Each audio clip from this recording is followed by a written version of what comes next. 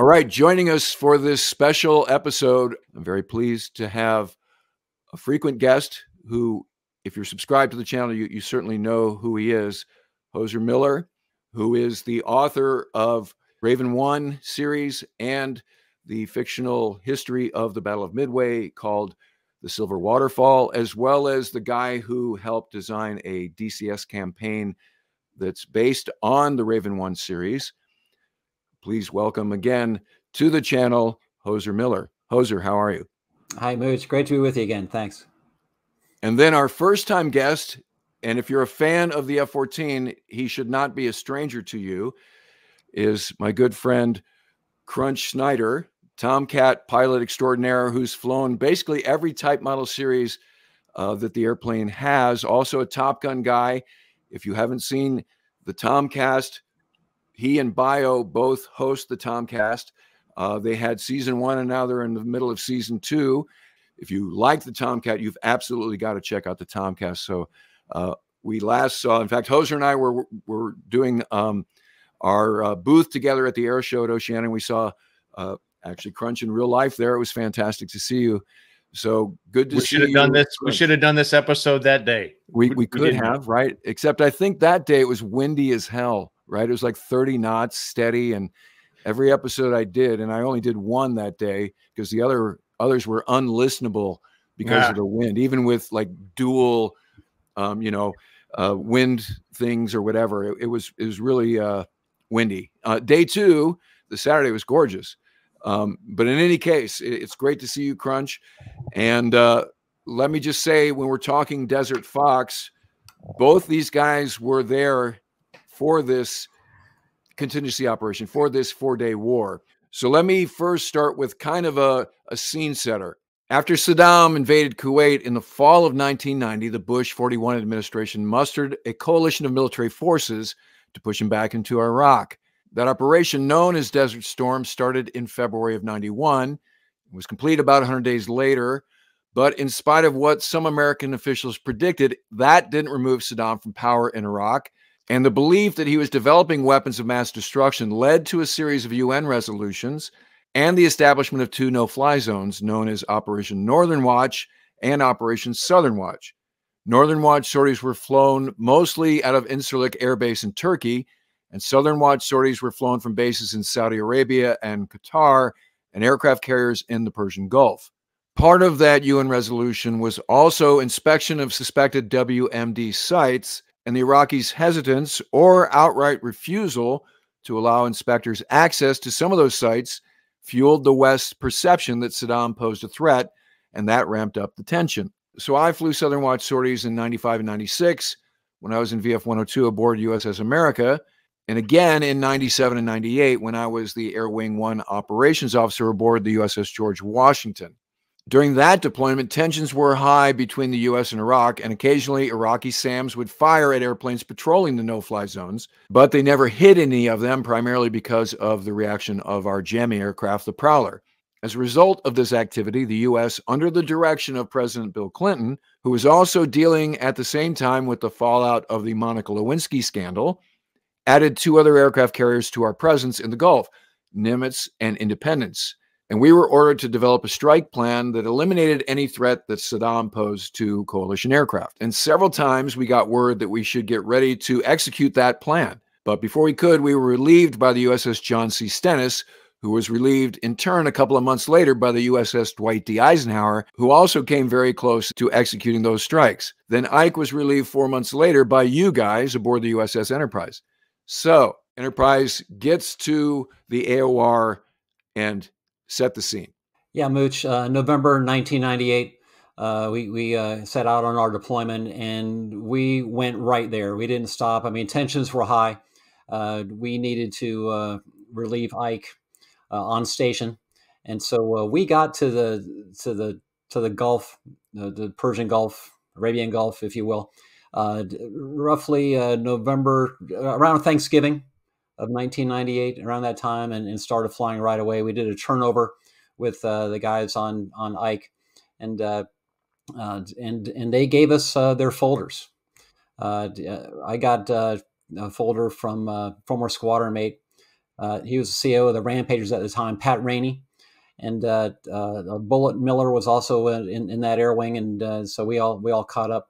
But then uh, we, we, we took their folders, so we just kind of set them aside, and we would fly uh, OSW patrols, uh, familiarizations, if you will, uh, over southern Iraq from the end of November through the first half of December '98. So when you say f- folder, that that's a strike folder, right? That's that's you're just sort of this is the the, the homework of the guys before they just sort of hand over the, the the work that has been done. Correct. Crunch, you're in VF 32, the Swordsmen. This is noteworthy in that the the Tomcat at that time was now had the LANTIRN Pod. Talk to us a little bit about that capability. This was my second deployment, so I was a young uh, lieutenant and you know Hozer skipper of 105 at the time on your what fifth sixth deployment probably. I'm on my second. I'm uh, I've done one full deployment, a full workup. So I'm now a section lead, division lead, not a strike lead. I'm a forward air controller airborne and doing doing pretty well. I'm also you know an LSO doing that type of stuff at the time. It's I showed up in the squadron back in '96, right? So two years prior, we were just starting to get these things called LANTIRN pods, and they were like gold. And and they would be transferred like there were four of them and they would go from one squadron to the other and and go off on deployment and things like that and it was just when we got we were on this deployment now in 98 we were starting to see more of them we had enough LANTIRN pods to put one on every airplane on the flight deck and maybe a spare or two. I, I don't remember. So everybody had these LANTIRN pods, and they were absolutely amazing because we had uh, they had their own GPS antenna. They had incredibly great visuals. You could get really good imagery so that whether you're doing battle damage assessment, battle hit assessment, uh, trying to find the target, employ on a difficult target, maybe like a bunker or a command shelter or something like that. It was uh, it was really good. So in comparison, the the Hornets in our air wing had the Nighthawk pod, which was it, it you know great at great when it was fielded. It was not as good as what we had in the LANTIRN, and so we actually were now up on step and the Tomcat was able to employ with the LANTIRN pod. It was actually the LANTIRN targeting pod because uh, the F-15 Strike Eagle had two pods, a navigation pod and the targeting pod. We had just the targeting pod, and what we were able to do is employ laser guided bombs with that. So you would, uh, you know, just to keep the folks up to speed, you know, you, and on the bomb it would be coded to a certain laser code frequency, and you could dial in a certain that same co- frequency code into the LANTIRN pod and when you laze the target the reflection of that energy, the bomb seeker would see it and it would home in on that. And as as long as you dropped it fast enough, there was enough energy, it would go through the air, and the the basically the guidance kit would direct those fins. They'd be flapping all over the place to get it to to hit the target. And as long as you you gave it a good profile and enough energy, it would hit the target. And so we were able to employ GBU 10s, 12s, and 16s, uh, which were 2,000 500 and 1,000 pounders in that order. And also, we had GBU 24s. And so the GBU 24 actually did a different profile instead of just dropping it and dropping it into a, uh, you know, basically in a free fall and, and, hitting a target, it actually like would do this loft thing and it could do a whole bunch of different profiles. And it was really good for going into hardened targets. So it was it was a bunker buster. I don't think it's overselling to say that it was a game changer. It was it gave us a capability that was new to the theater and it was only comparable in the Strike Eagle in the Air Force. I remember when we did the the war, the Bosnian War, uh, circa 95, 96, we didn't have LANTIRN yet. The Tomcat started dropping dumb bombs. It was a 10 mil dumb bomber and in fact, the air wing that we relieved in the Adriatic was the, was the Roosevelt. And for some reason, the, the JFAC allowed them to do one dumb bomb mission, and they they let's just say it wasn't terribly accurate, and uh, fortunately didn't kill anybody, uh, you know, unintended. But it kind of uh, dragged a stick of bombs well beyond where the target was uh, in the course of doing CCIP delivery from the Tomcat. So they said no more dumb bombing with the F-14 during that time frame. And so now, as you mentioned, Crunch, we had a very high resolution display, better than the Nighthawk pod, um, which is somewhat a, a, ironic because the Hornet guys were pretty obnoxious uh, during the uh, the CAG 1 95 96. They literally shut planning doors in our faces during that cruise. The world changed. The other thing that was, let's just say, an advantage, and Hozer, you speak to this in the article you wrote for Hook magazine about this Operation Desert Fox, was the existence of an F 14 Rio. So the 10 by 10 display was in the back co- cockpit. And so the Rio is the guy aiming the laser spot. Um, and uh, in the Hornet, the pilot had to do both keep the airplane from hitting the ground, look out for AAA, and also aim the pod. So you used, you mentioned how you learned how to use autopilot to mitigate the fact it was just one guy. But certainly, I think you would agree um, that it was an advantage to have two guys in the airplane at, in that that particular circumstance. Absolutely, and as a as a as a strike lead, you take a look at the the the, the DIMPI's designated mean point of impact, and uh, okay, that that's a challenging DIMPY right there. So uh, so crunch, get over here. Uh, you know this this is going to be for for you guys. So we we flew with with VF thirty two, and they flew with all the Hornet squadrons you know, using the, the advantages of, of both airplanes, the, the weapon systems, the missiles we carried, the missiles that uh, the F 14 carried. Uh, so that was the norm. Another thing that all of us had, and uh, yes, LANTIRN and uh, and and uh, you know FLIR was a game changer, was NVGs. After Desert Storm, very quickly everyone got NVGs. My squadron had the FA-18C Lot 13 Night Strike aircraft. And those aircraft got to the fleet late 1990, early 1991. Uh, sister squadron, VFA 37, is flying the Lot 18, uh, so five years younger and lots more black box coolness. Night vision goggles increase situational awareness. They, they are not a, targeting mechanism, but uh, but you know having those things on just it doesn't turn the night into day but it just increases your awareness around you. So it is easier to to fly formation. It is easier to to you know pick up things, but you're still going to use your system. You're still going to use your uh, your infrared pod to uh, to find what you need to aim at. So people who don't understand the details of of night vision devices. Uh, maybe don't understand that it's not just put on the goggles and everything's great. You have to adjust the lighting.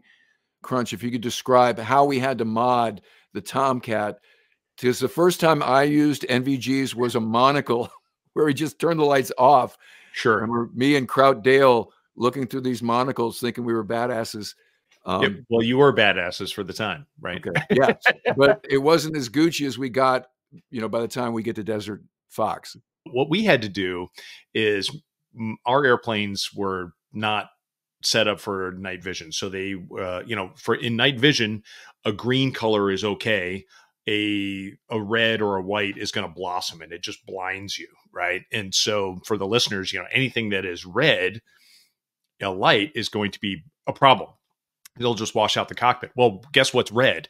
every warning and caution light is red and every everything that comes on they go yeah you might be in the wrong configuration let me just give you an indication and so here we were in the uh, in the f14 and and there was so many lights even or yellow light was bad and we have this giant display i mean it, it was just row after row of row of these caution and warning lights and everything and they're all the wrong color and so if you had anything pop up, low fuel light or stall warning or anything, all of a sudden you're washed out. You can't see a thing and you're better off without them. So what we would do is we would fly with tape.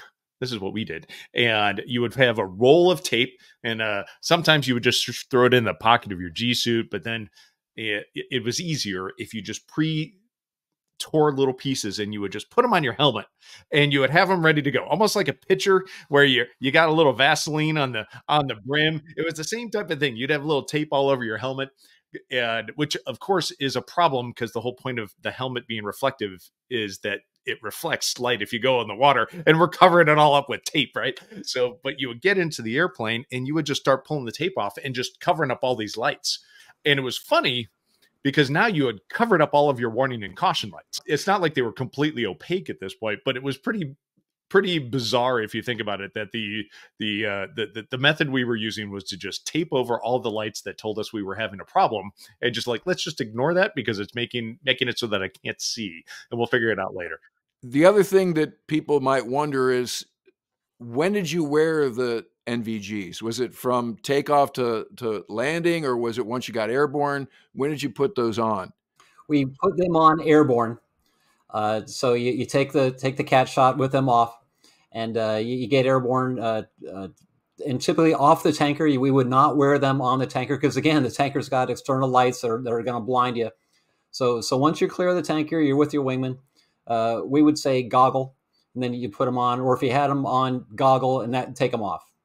Uh, so we, we would we would goggle up, and uh, and then you know you know adjust our lights. Uh, coming back to the ship, we would uh, we would you know get our marshal information, take the goggles off, and we would marshal with them off and, and trap with them off. And people say, well, you know, wouldn't you want them for a trap? And uh, for two reasons, no, you're you're going to get washed out by you know the, the ball and and uh, the, the the deck lights but also uh, you don't want to eject with those things. So if you're ever in an ejection situation, we would just take them off and, and throw them, you know, down by our feet. Uh, if you eject with them, uh, chances of you breaking your neck are high. Although it's been done, but uh, but not preferred. So that that was the procedure. Just just take them off and throw them down. You don't need them anymore. And it, was that also true for the Tomcat Crunch?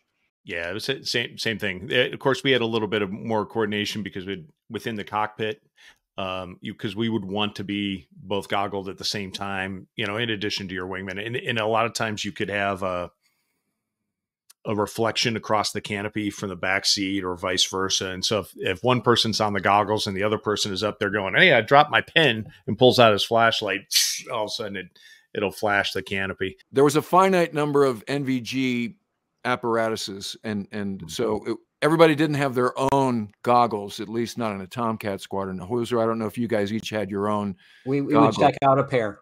Okay, but yeah, you had to check them out from the SDO, just like you had to check out a pistol right. or whatever else. Um, and and so these were controlled items. You had to take care of them. You know, expensive in the case and all this sort of thing. So you had to really treat them with with care. I remember forty thousand dollars. Forty thousand dollars each, which is kind of cheap by F thirty five standards, right? But uh, still, that that's a lot. That's a lot of money. The funny part of it is, you said talk about that case. It was surprisingly large. I mean, if you just looked at it sitting on the on the desk, you think that's nothing. But once you pick that up, you have to find somewhere to put it in the cockpit. You're like, Jesus, now I got another thing. And it's it feels like it's just taking up all this giant space. I've already got one helmet bag with all my targeting stuff, and now I got this NVG thing. And it would be, you know, anybody watching on the video, you know, it's that big and it's filled with foam, so it's all protected and it's kind of like a cutout toolbox thing. And and you cover it up, and sure, it's soft sided, but it's bulky and it, it, it, I felt like it was always in my way. And anytime I was pre-flighting, like I felt like I was banging it against the knee knockers going down the P-way or something like that. It was always to me, it was clunky and, and bulky. Also, you had to be concerned about where it was for the trap and the and the shot, um, right? Because just having loose gear uh, for either launch or recovery was a was a bad idea. Um, so, what did you guys do to ensure in the Tomcat that it wasn't going to be FOD? I, I, just had it jammed back here it, because it was it was in such a if it uh, when we trapped it was probably going to hit my elbow. And if it didn't i was i it, and it went past it meant that i stopped. So eh. so let's let's talk about because Hozer, you mentioned the inter, inter deployment training cycle the idtc and for us it generally starts with fallon strike you we would go there long hours they would put us through the wringer. They would change the plan at last minute, as you've both mentioned. Strike planning uh, is a is a real skill that you learn. It's a lot of work. So, what did you learn at Fallon that you leveraged when the bubble went up in December of '98? Mooch, for me, I was a Squadron XO in 1997, and uh, and went to Fallon in the initial class of the Airborne uh, mission commander course, uh, strike lead course that they had just stood up for for guys, you know, for for strike leads. And uh, so, so, a lot of us squadron XOs would go there. Uh, Top Gun had moved to Fallon by this time. So the Top Gun guys are, are living there, and, and, we're learning from them.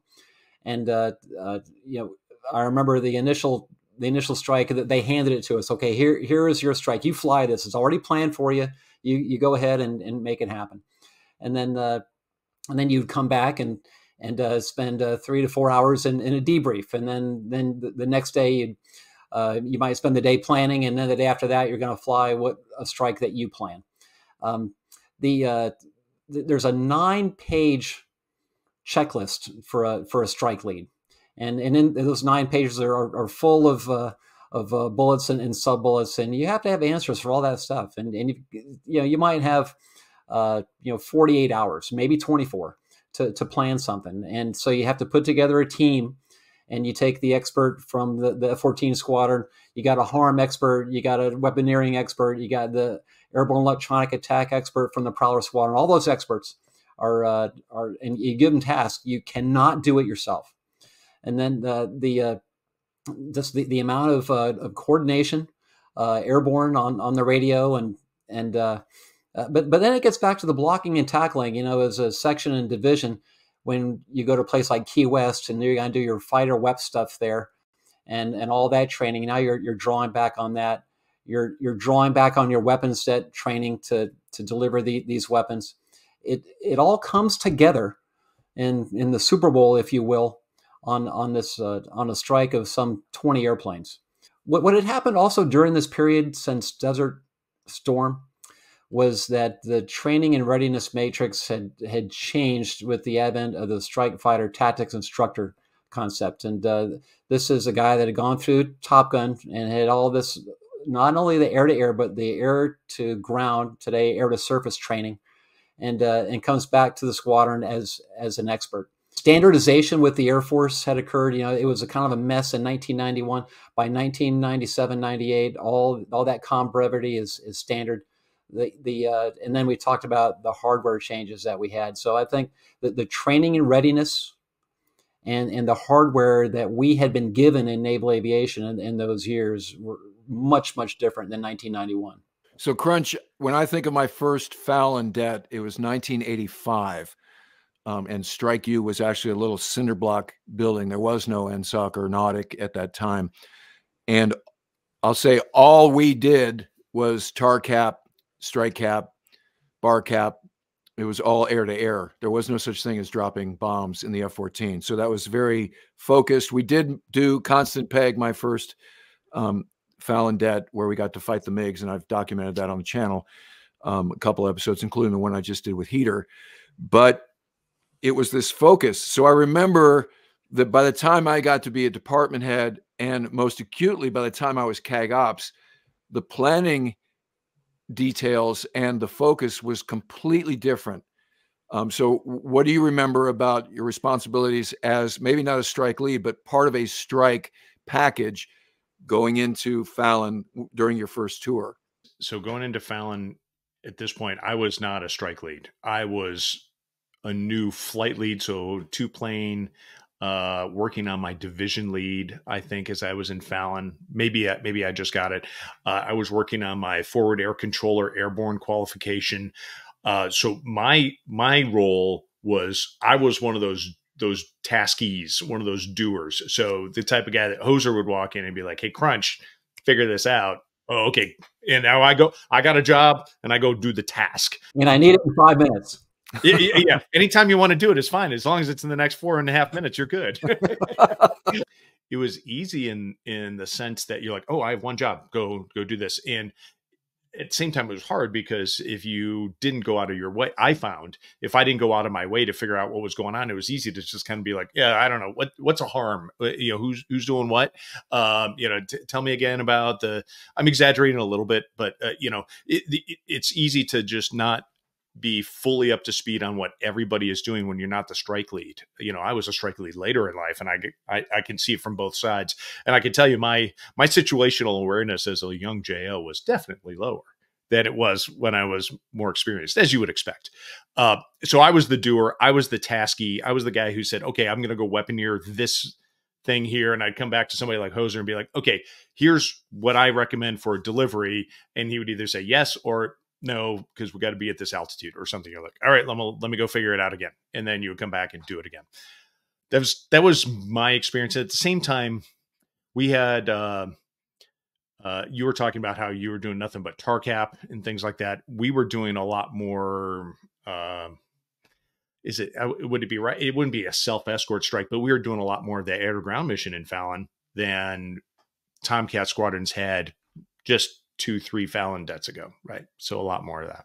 And with that came weaponeering, uh, as we're doing death by acronyms during this episode. JMIMS is, is something that we got smart on, which is the Joint Munitions. What's the I for manual? It, it was an E. Effectiveness. Oh, Effectiveness JMEMS. Yeah, JMEMS. And in reality, it was just it was a computer program. By the time we were using it, it, it there was a manual somewhere and that was how you figured out, hey, we want to go through six feet of concrete. We need a fuse with a 0.8 second delay or whatever the case is. And bam, that, that would be incredibly long, probably. Right. All of this, let's just call it nuance. I know dropping bombs is a is not exactly an elegant business necessarily, but uh, you know, as you said, fusing, which bomb is right for the job. Dimpies, you mentioned Dimpies, Hozer, which is where is the aim point?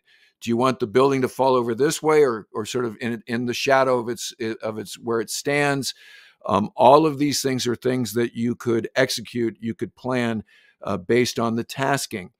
So we got smart i'm talking particularly about tomcat guys on that that part of the war. And as you mentioned crunch as a jo you're kind of in the do your job you know using a football team analogy here. I was blocking and tackling. That's all i was doing was there's my assignment hit that guy. Right and so you, you would want some savvy of okay what's that harm shooter doing? What's the aew piece? Where's the tanker? That kind of things but your job is hit this target on time you know in concert with everything else right? So that's the hey right tackle go this way and and open the hole at the at the two two you know two spot or whatever in the b gap. Um, and so Whereas Hozer has to know he's like the CEO of the strike. He's got to know everything about everything. Which he's Tom Brady. He's got he's to. Tom Brady. well, no, he's he's play. he's Belichick. He's the coach, yeah. and also Brady. He's both Brady and Belichick, to use a sort of dated um, Patriots analogy. um, but in any case, the product would be this briefing packet you know and and so when you got into what we would call the mass gaggle brief which is everybody in the strike, upwards of 25 or 30 aviators, would go to the mass gaggle brief, generally hosted in the strike leads ready room, and you would give them this packet. And and sometimes it was a lot of pages. I don't want to say maybe 40, but you know, you'd have this thing. This is pre-digital. You'd have this thing that you miniaturized and you stapled it, and this is what your intel guys were doing for you. And then you would as guys walk through the ready room door, you go, here's your packet. And they would sit down and you you highlight what you cared about. But this was really a lot of work for starters. And we learned from Desert Storm to Desert Fox how to do this more and more effectively. You know, Desert Storm uh, was characterized by paper. And so, you know, guys are, you know, are drawing uh, the, the, uh, you know, the, the formation on, on a, on a card and then, then reproducing that. Uh, you had to fly the S3 famously to the beach to get the air tasking order, which is what you're going to do the next day. And, had, and that, that, was hundreds of pages. You have to go through it and find what, what you have to do. Um, a lot of work. But in 1998, it was digital, and we had a digital kneeboard card with everyone's everyone's call sign on it. You know, we, we got that information, all the side numbers, and uh, here's the route of flight. Here's the imagery. So you have all that on a kneeboard, and I, I would have said 10 to 12 pages typically uh, for the strikes that we flew. And uh, but yes, the the mass gaggle brief in, in a ready room. Uh, you know, we had a, a, a, single seat ready room, ready three on Enterprise. So you know, you sure to have you know 40 aviators in there, standing room only. Guys are sitting cross-legged on the floor, uh, you know, scribbling down more information. And then you would go into uh, an element brief, maybe the, the strikers four to eight airplanes, maybe and then you go into your your squadron brief. Okay, we're going to take off and, and, join here, and when we come back from all this, we're going to rendezvous together and, and do this.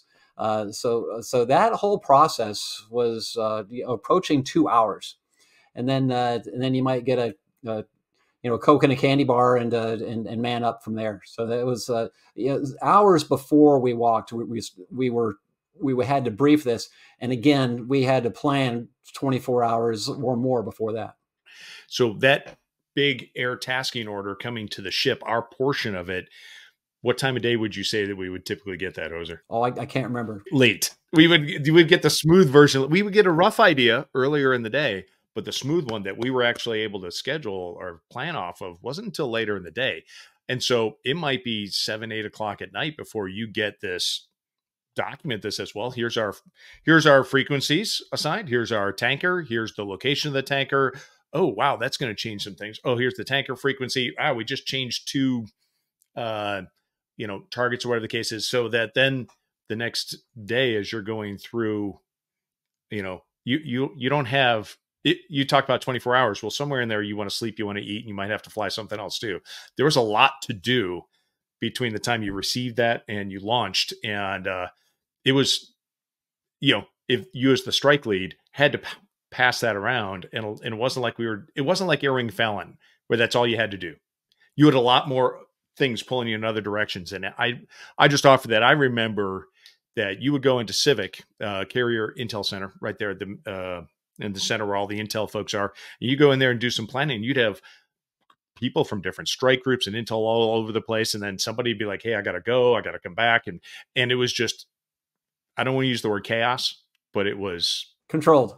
It was controlled, but it was hectic. It was hectic. And there I, for me, I know that for me, you'd sit there and you'd be like, I got an hour and a half and I've got three hours of work left. This is something's got to give and then you got to figure out where the priorities are well i know i need i know i need gas let's figure that out all right let's move forward you know that was that was the the the, the just for the listeners the impression the uh, i would like to leave the impression of uh you know like you said controlled chaos is maybe overstating it but it was definitely not uh, easy. Yeah and there's anxiety right? That there this is what you learn this is what they try to impose during fallon is this you know strike lead you have responsibility they there's a lot of entropy over the course of planning to take off. They want to put you through the wringer. They want you to feel that everything's last minute because inevitably it's going to have this this these changes from the ATO as written last minute mm-hmm. kind of thing. Let me ask specifically because we've talked sort of in the abstract about what we learned at Fallon and so forth, but specifically because you guys mentioned you had 3 weeks from in chop to Fifth Fleet until you you launched for Desert Fox. So, what did you do during those three weeks specifically that wound up being the operation? So, Hozer, you've already mentioned that you had some pass down from Pat Rainey, um, but specifically using all the things we're talking about, what did you do for those three weeks that got you ready for day of? We had planned some some some strikes uh, for for this contingency. You know, we knew that I could they they were on the cat and then then stood down. So so yes, we we got the work they did, but then we also had uh, some others that uh, that knew we knew that we were going to go into, uh, and and this you know what what became Desert Fox initially. Okay, if this is an all Navy and Marine Corps show, then uh, you know what what's what's that first night going to be? So we we studied that and and and planned that and just kind of kept that in our back pocket. I'll say that uh, uh, I don't know about a week or so. I remember um, before Desert Fox, uh, Admiral Willie Moore came out to the ship, and maybe it's a couple of weeks. And uh, you know, he visited all the ready rooms. He came in my ready room, and I, I said, "Welcome home, Admiral." You know, he's a, a VFA background kind of guy, and he he he got what I meant. Um, but uh, he just kind of giving us a big picture. Hey, we need you guys to be ready. You know, the, the typical, you know, three star visit. Um, but so, what was his job? Was he Fifth Fleet, he Sixth Fleet? Fleet? I'm sorry, Fifth yes. Fleet. And I, th- I think I, I, may have been in on a on a on a CO's meeting, you know, with with Admiral Moore and the ca- and the captain, and uh, it, it, wasn't it wasn't a sense of urgency. Uh, about four days before Desert Fox kicked off, uh, CAG Tom Hagen, you know, without a sense of urgency, it says, you know, guys, just just keep keep working on your folders and then two days before it was, uh, hey, this this thing might go. And then and then I think it was uh, probably uh, probably 36 hours before. Okay, this is going to go. And uh, so the on the morning of December 16th, um, I, I, knew this was happening, but uh, you know the captain got on the 1MC and said, "All right, we're going to go into this op." And uh, you know, we were in the ready room when this was going on, and uh, you know, I was prepared for it, obviously, and said, "Okay, guys, this is what we're going to do." And you know, we, we had a we had our our all officers meeting about how we're going to conduct ourselves over the next uh, four nights. But um, many of my JOs were, were surprised. Wow, I had, had, no idea. You know, now you know some of my lieutenants had been working with me on my strike plan, and all, but that was just to kind of you know keep in, in, in the back pocket. We've talked about the ATO. ATO is the how the flight schedule is going to be written for the next 24 hours, generated by the Joint Forces Air Component Commander in Riyadh. But they also determined what everybody's targets were going to be. So you mentioned you had some pass down from Ike. Was that CAG 7 aboard Ike? Um, yes. at that time. Okay, yeah. so you got their pass down, but then you get like maybe the targets you're going to get for any given strike was the same or different, but then they were established. And then 24 hours out, the ATO was written against the established targets. And as Crunch was saying, this is your tanker plan, frequencies, all the other specifics against the targets that you already, let's just say, knew you were going to hit. And and so on night one of Desert Fox, it was just us on Enterprise, and so that's that precluded the the, the ponderous ATO and, and all the all the all of that um, you know big wing tanking and other airplanes uh, to so they wouldn't have that as a tipper. Okay, here we come. So so we had that going for us. That uh, you know obviously higher authority knew what we were going to do. We told them what we were going to do. They didn't tell us. On on the subsequent nights, there was an ATO, and this is when we broke out uh, the strikes that the guys on Ike had had, given us and, and, and flew them. So that that's how night one worked. It was it was just us, and uh, and the first strike I recall, and, and Crunch was on the strike. It uh, it launched uh, just before midnight. All all the strikes and Desert Fox were night. So let's let's pull up to thirty thousand feet just for a segue here. The strike that Ike was going to do was was halted at the very end because of the international reaction to the notion, and there's some cynical belief that the reason that President Clinton said go when you guys did it is sort of a let's call it a wag the dog scenario uh, because of the Monica Lewinsky scandal and some other things that were going on around his impeachment. Um, was there any level of awareness or discussion around that element uh, about the time that you guys were about to execute Desert Fox? That was never discussed. It wasn't even a thought. Now, now later in the operation, it came to my attention, but uh, in in the the ramp up, no, for me. I was equally blissfully unaware of the drama going on inside the Beltway at the time, to the point that I saw something on the TV about, hey, impeachment hearing for Clinton. And I would watch it and look at it, and all I would say is, that's a bad idea, and move on. that was that was the essence. Uh, that was in. I didn't know the story. I didn't. Uh, well, that's not true. I knew what was going on, but uh, we we just kind of nose down, keep going because we've got a job to do, and tried not to pay attention to what was going on because it didn't affect us in reality. So, so let's talk. As Hozer said, this the the day one of what turned out to be a four day um, war uh, was a Navy only, which is to say Navy and Marine Corps, because there was a Marine Corps squadron in the air wing, um, and and so it was a carrier based only op on on day day one. So, talk to us about the conduct of this day, Hozer. Why don't you talk about what was going on in in 105? We had a squadron reenlistment uh, at at dawn on the morning of uh, of the 16th up in the, up in the flag bridge. Admiral Dawson was there, and then after that, I, I, again, I knew that this was happening.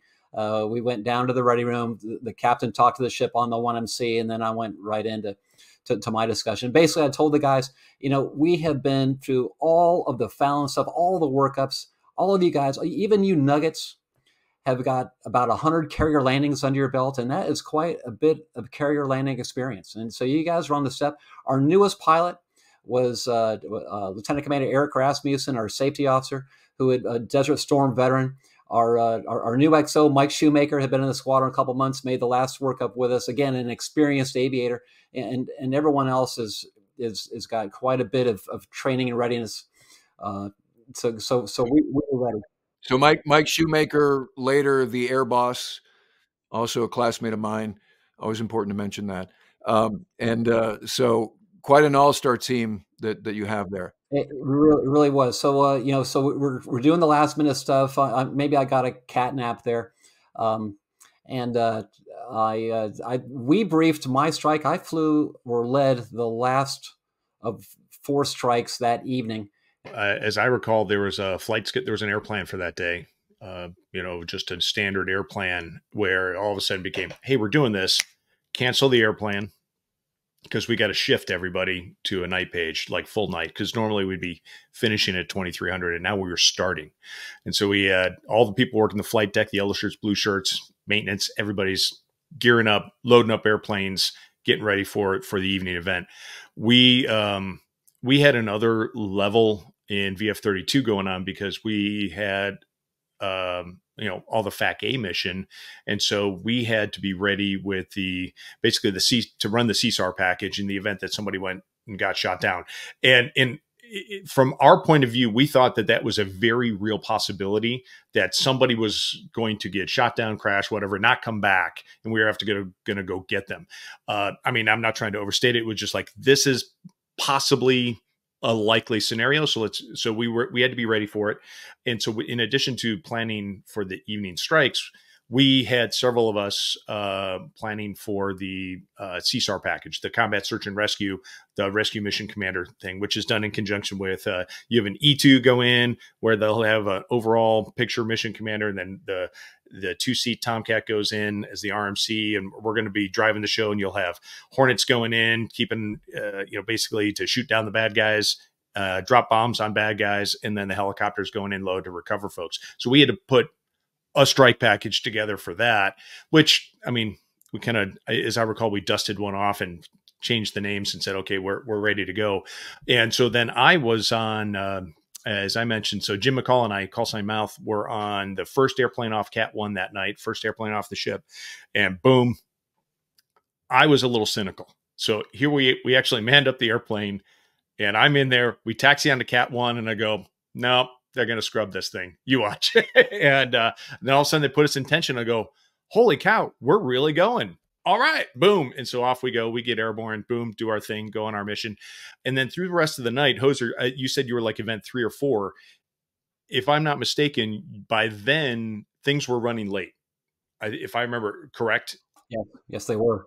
And it was delayed and delayed to the point that when I was when I landed after my my first mission, Jim and I got got our kneeboard cards for our RMC mission for our CSAR and said, okay, now we're ready. And we stood the alert 15 in the ready room in all our gear, never got, never changed clothes. Like now we're ready to go to go launch on the CSAR. And we were supposed to be done at like four or five. And it just kept going because the strikes were, were a little delayed. And it was like, we, we saw the sunrise still sitting at alert 15 CSAR just in case. What kind of weapons were you carrying and what was your target? We were carrying GBU 24s. Uh, Bravo, Bravo, I believe was the, the GBU 24. And that's the bunker buster. It's a huge yeah. bomb. This thing is gigantic. And so we had GBU 24s going in to hit uh, weapons bunkers. So a bunker buster against a bunker makes sense. And you mentioned CSAR and the threat obviously over the course of of southern watch years and years all the SEAD we did all of the other you know pop-up sam harm shooting we did over the years onesies and twosies their strategic sam threat was somewhat neutralized. However there were mobile sams there were other things that we were afraid of. Um, specifically what what did you think would be the the main threat as far as sams? We were going in mid altitude so you know SA6 and 3 were the more percentage threats, and we thought that those were going to be a problem. I'll say that when we went in, you know, Hozer, you mentioned it, we announced we were coming. We said, by the way, we're coming, and we're coming at midnight. And boom, we we went in, and Iraq turned the lights off and just started shooting in the sky. So we're going in in goggles, and you could see off on the horizon. It was just the AAA was just arcing up all the tracers. It was just all up there, and you're like all right, that's reaching my altitude. That is above my altitude. And so we went in, did our mission. They were shooting all sorts of stuff at us. We thought it was going to be targeted and that the harm guys were going to be going after it, but they turned off their their uh, their targeting radars, I guess, because of the harm threat, and we're just hoping for a lucky shot. So the other thing to before you guys launched, there were a bunch, I don't know the exact number of TLAMs, tomahawks that were shot from everything from submarines to small boys to whatever, right? That's part of any contingency operation is what we called an integrated air defense rollback. And then part of your strike package, both Crunch and Hozer was attached like EA6Bs and harm shooters, dedicated harm shooters, that in the event of a pop-up threat, you could soft kill it with jamming, and then if need be, hard kill it with a with a with a harm missile. Um, so that's part of anything that you were prepared to do in the event that you got your raw gear lit up, kind of a thing. Um, and so that that's all baked into the way we did business. Again, as Hozer was pointing out, we got really sophisticated about how we did this from Desert Storm until Desert Fox. Um, and how we do it now is orders of magnitude even even more sophisticated. Um, so, did you hit your target crunch, and did you have the the footage that you were able to look at it in CVIC? I did not hit my target, but everybody else did. I was like the one miss. What happened? Did did wrong wrong aim point? The, the, the LANTIRN went, didn't come off. LANTIRN the LANTIRN went screwy, and uh, during bomb time of fall, it went screwy. Yeah, it uh, okay. some sometime in there, it it went went nutty and Dead eye, just like in Top Gun Maverick. exactly, exactly. Here's the thing, though: everybody else hit their target. Zero two hundred. I'm in ready three, and I'm I'm briefing uh, my guys for the last strike, and so so everyone's in the ready room and standing room only, and guys are cross legged on the floor, and and and they're listening to me brief them, and and there's a way to brief, and and it's yeah, I was I was feeling it in the moment. I mean, okay, you know, we're going to go on a combat hop, and I'm the strike lead, and, and all these guys are watching me and and if I, I got to know my stuff, and of course I, I did, but I've got to convey it with confidence, you know, for for these guys to follow me.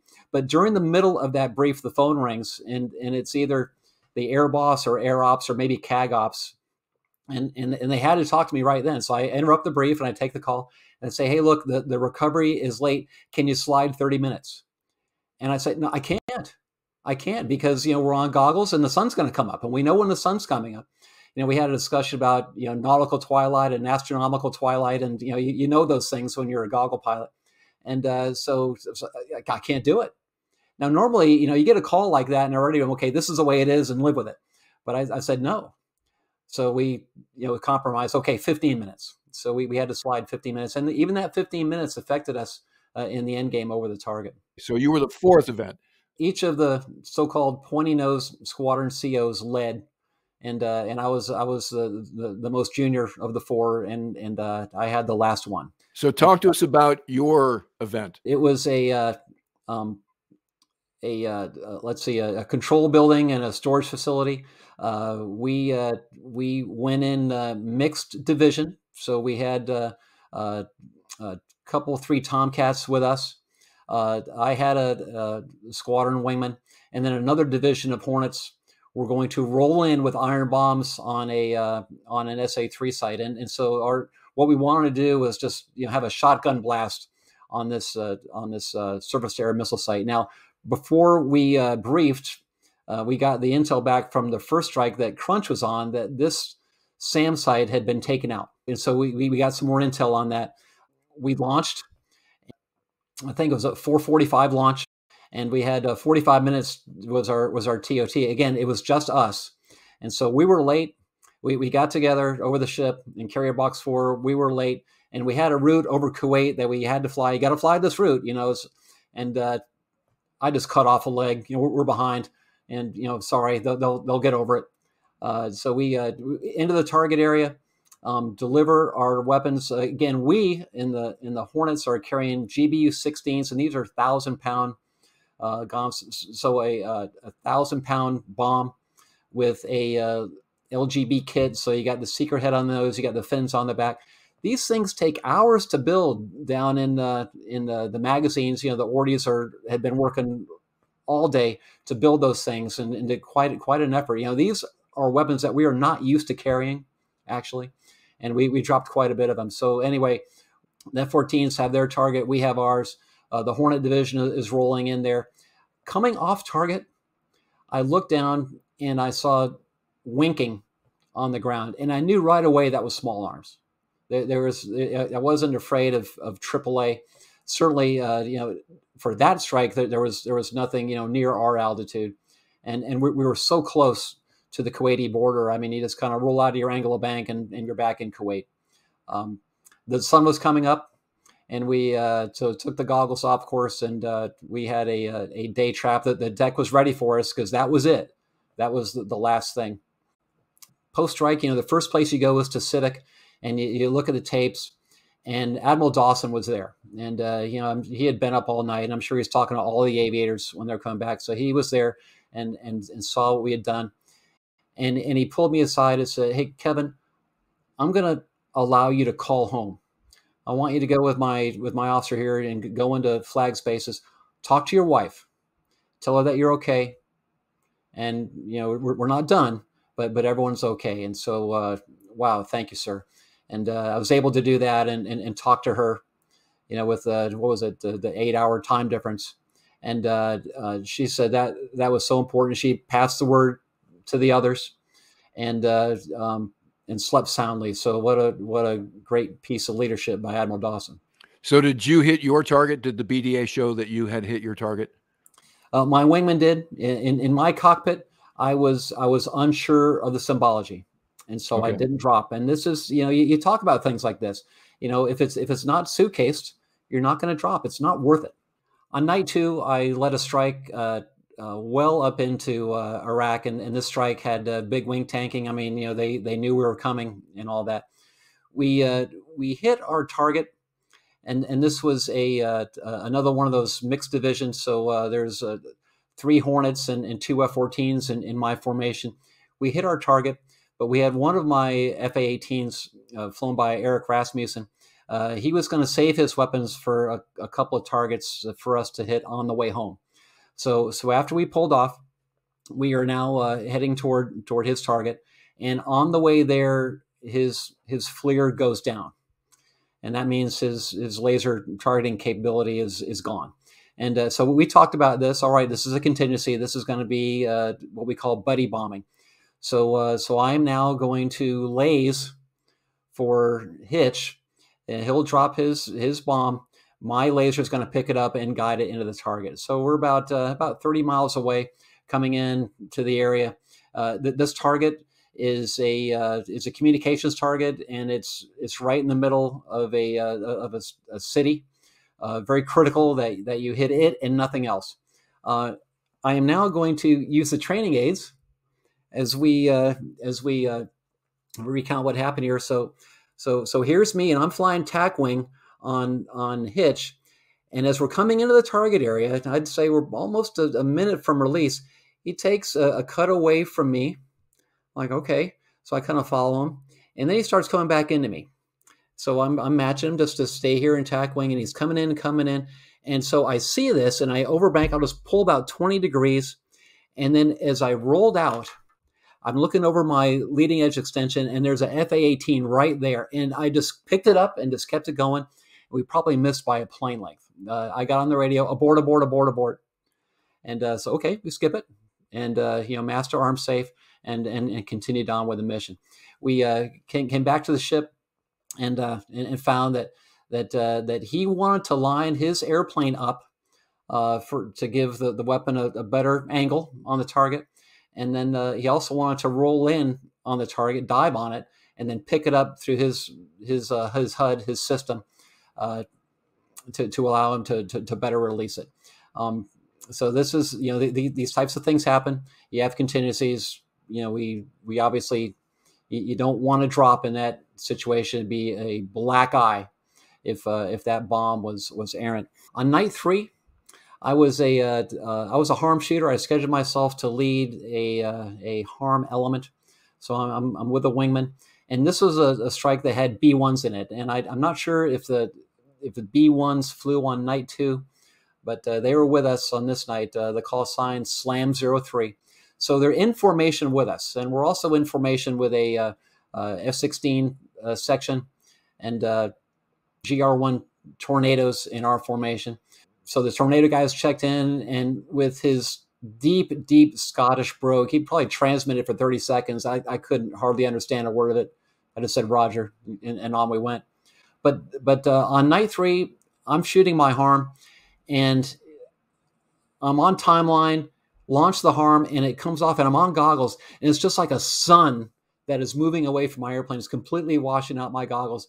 I, I, I essentially can't see. I turn 30 degrees away from my next shot, shoot it. Another sun, you know, can't see a thing. And now I've lost track of my of my wingman. Although I am the lead, he's got to fly on me.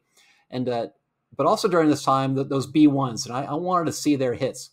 So I had my FLIR now. I designated it to their target, and, and I'm watching on on my display, and it's just like the Schweinfurt raid. I mean, it's just the stick of a hundred bombs. That, that's all they had. They did not have a precision capability in the airplane at the time, so they just dropped an unguided stick of, of uh, you know dozens of bombs and, and hit the target. We went back to the ship, and we are now low on fuel. And so this is uh, you, you check back with the E2, and uh, okay, there's only one KC-10, and it's only got 25,000 pounds of fuel left. Oh my gosh! So there's uh, you know there was uh, seven or nine of us that, that need gas, and uh, you know we're not going to get anything that, that we need, but we need something. So, uh, so we're on the KC-10's wing. We're on bearing line. There's a couple airplanes, maybe three airplanes ahead of me and I've got a wingman with me, and we're probably down to 5,000 pounds.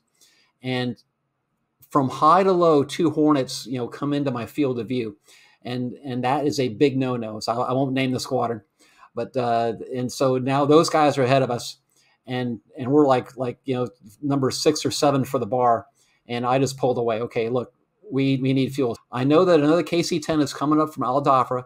It's 150 miles away, so I start heading toward it. I'll be the first one there. I check in with the ship. The ship says check in with uh, with Marshall and or departure. And departure now grabs me. So, and I said, look, I can see the KC-10. I, I'm going for it.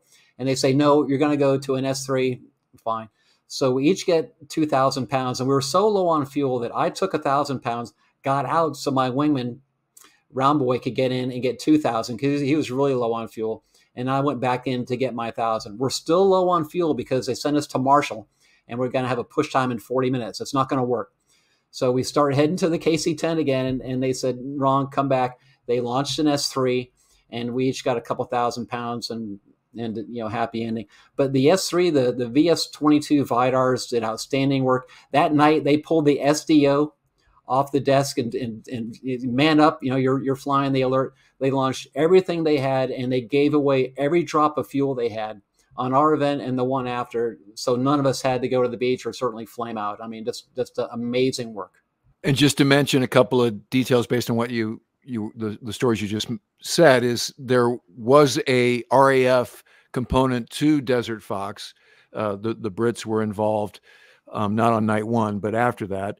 You mentioned the tornadoes, and Tony Blair, Prime Minister Blair, was a partner to President Clinton in the in the sort of impetus behind doing this against Saddam. The other thing you point out is the sort of Semper Gumby part of carrier aviation, where the tanker plan will not go as briefed. And you did some good headwork there to audible between options and also the ship gets a vote with what your option's going to be, obviously. And, and so you just take what they get. 2,000 pounds is not a whole lot of gas, especially if you think it's going to be case three. So every look at the deck is a thousand pounds. Case one, it's 800 pounds to go around the pattern. So, you know, you're like, oh, 2,000 pounds, that sounds like a lot. That's not a lot. Um, and so gas is the most important equation. Plus, as you commented, and I'm sure we all feel the same way, whether it's OSW or Desert Fox, the scariest part of these missions is the tanking, especially when you're doing double and triple cycle missions. And I've talked about the midair that we had in the pattern during OSW when Admiral Mullen was the strike group commander and I was CAG Ops. The Marine Squadron had a midair kill DXO. That's the most dangerous and the most stressful part of these missions in general. So that's another thing when you think about carrier aviation, the skill involved and the focus got to keep that in mind. And your story just bears that out. In each of our strikes, uh, the, the, you know, we got the last minute tasking, just like you get at Fallon. It, it, it upsets you, it bothers you. You know, why are they doing this to me? It happened every time, and and you got to deal with it, obviously. And uh, and and we did, and and we flew outstanding formations in the combat area, and our com was professional and, and crisp. So, you know, you, you go back to your training, and you know, mistakes were made, sure, uh, but do you go back to your training, and and you are going to fly at that level, and uh, the level of training is superb, and it reflected in our performance. Also, in your squadron, you had the first female aviators that did combat ops. How did that go? Enterprise was uh, the only carrier carrier air wing that was integrated with women on the East Coast. Uh, in uh, on the West Coast, I think it was uh, Air Wing 11 uh, in Lincoln, I, I believe. But uh, but that was it at the time. So roughly 15% of of our squadrons were integrated with women, and uh, Lieutenant Kendra Williams in VFA 105 was the only female pilot we had. Some other squadrons had had two or three. Yukon uh, flew on that uh, first strike on, on, the first night, and uh, and her target was was at SA three. The SA three had been moved into a tree line, and using her FLIR, she found that and was able to put her uh, GBU on on that target on the tree line. Just an outstanding job. Now, uh, so she gets back to the ship, and within hours, you know, the word is out that that uh, you know the first female you know, tactical aviator or combat aviator, expended weapons in combat. On the second day, the press descended on Enterprise and descended on on Yukon. They all want to talk to her. USA Today, People Magazine sent someone out to Enterprise to to interview her, and uh, and she carried herself with professionalism. I could not have been happier with how uh, she she answered their questions. She's a humble aviator doing her job happens to be a woman, happy to be here, and uh, very, very well done. So a super pilot and and a, and a great uh, a great message for our country. The other thing, first time the B one was used in anger out of Diego Garcia. Uh, so this is an airplane that was designed to go in low against the Soviet Union and morphed into first a dumb bomber and then kind of a semi-smart bomber that was used extensively for close air support of all missions in the wars in Afghanistan and Iraq. So when the dust settled after day four, how did the Air Wing feel? Mission accomplished. Air Wing 3 had about a 70 to 80% hit rate. And this is just unprecedented. I mean, in 1991 for naval aviation, the majority of deliveries were, were iron bombs and delivered very well by, by capable aircraft and pilots, but you just can't get numbers like that. But uh, uh, we had had numbers like that because of the precision weapons that we're all using. I mean, it, it after the first night, it was pretty much laser guided precision on everything, and uh, you, you, get numbers like that, and uh, okay, that that's that's the new expectation now.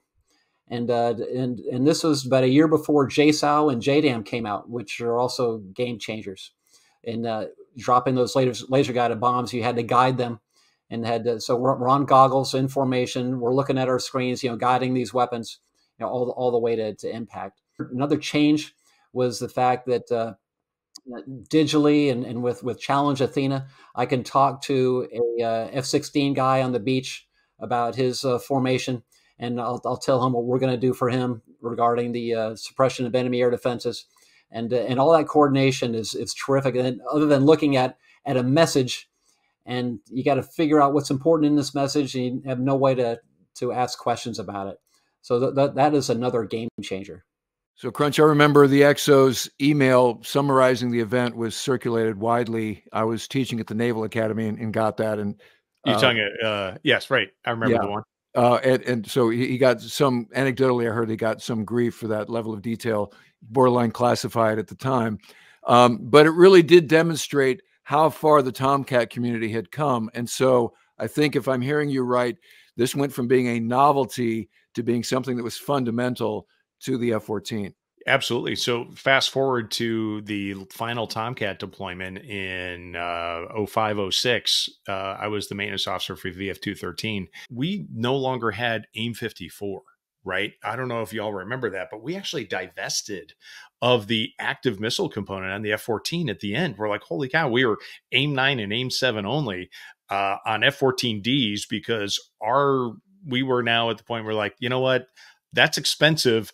You guys can go bomb, go do it. And that's what we did. You know, we, we had we weren't going out doing air superiority with an AIM nine and AIM seven Mike, right? That it that suddenly became the Hornet mission, and we're out there bombing. So it, it, I, the F fourteen mission like flip flopped 180 degrees from where it was was originally back in the 70s and 80s to all of a sudden it's a precision bomber.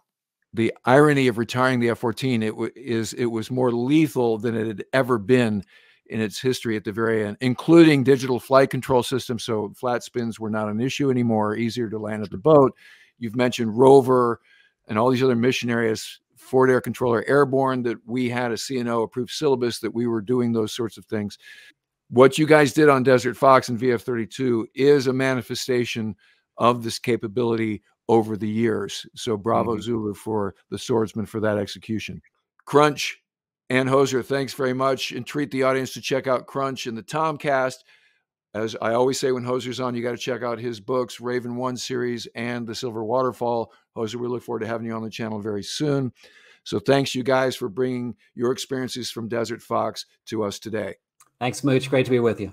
Thanks, Mooch. Appreciate the appreciate the invitation. All right, that'll do it for this episode. If you're not already a subscriber, become one so you don't miss anything. If you'd like to help support the channel, please consider using the super thanks the heart icon below, or become a patron at patreon.com slash Ward Carroll. And in the meantime, I look forward to talking to you again very soon.